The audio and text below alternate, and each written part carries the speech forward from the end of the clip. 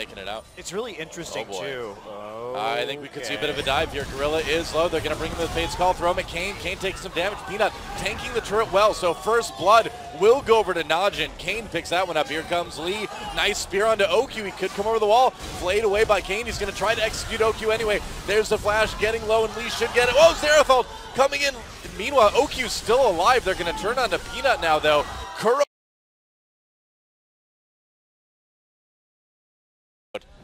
Wow, he actually manages to get up on the side. Let's take a look at this again. Gorilla starts this fight by getting hood, hooked. Ults Ohq immediately. See Kuro right here. Gets hit. Peanut uses the Sejuani ult on one target, but there's a cleanse there. Who's down? But uh, he does end up lasting it out. And then the rest of GE powers forward. But a really, well, they have so many pink wards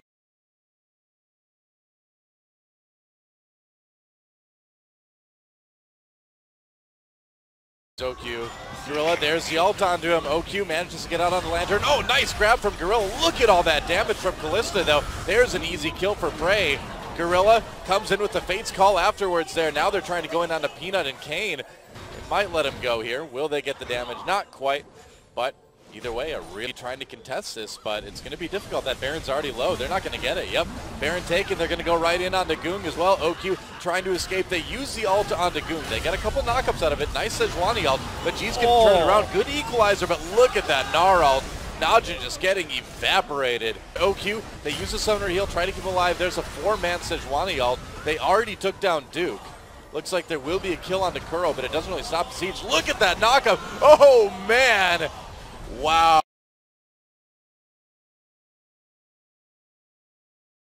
GE Tigers destroy Najin the Empire, and this is a Najin that's been looking.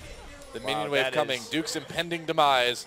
Goog's here, Yes, but Meb. Lee's here too now. Smeb zoning out Ggoong, Ggoong, Ggoong only at half health, and this is the most obvious dive in League of Legends history. Oh, nice moves from Duke, though. Can he get out? No, not quite. There's first blood going over to Lee. A kill comes in, though, for Ggoong. Are there going to be any more? Yep, Ggoong goes down to PraY.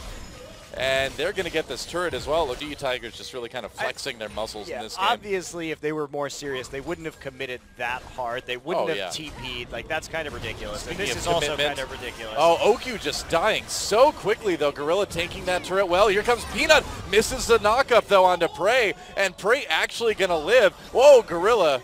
If they tune this back a bit, it'll be exactly what they need to have a good early game. I agree. I agree. So, uh, coming in here onto Ohq. Ohq trying to get as much damage down as he can, but PraY chases him out. They take out Kane via zoning, and then they're starting to pull back right here up the river. And a little bit of miscommunication. Duke goes in too early right here. He gets eager, and he just gets ulted right before he can hit Mega Gnar, and then dies. It almost looked like his ult animation started and uh, he died before it finished. And PraY just following it up right there with the flash. Yep. Peanut can't Najin thinking about coming in. Kane is there. And they'll get the Baron. Now they're turning around. Ult onto Duke. Oh, Oh, the anchor barely missed Gorilla. missed. That would have been quite the play. He was about half health, though, so they may have just gotten him uh, blown up right away. Oh, there we go. Kane comes in for the knockup. Support and top laner are going to try to make something happen. Peanut comes in, gets locked up by the ult from Lissandra immediately, getting very low. Gorilla zoning in the back of the fight.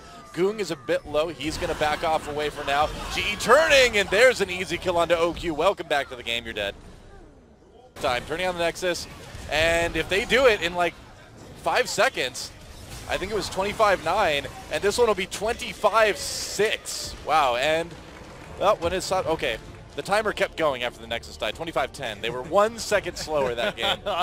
one second slower. 25-9, 25-10 for the second game. Wow. What a ridiculous series tonight. Yeah, and both games combined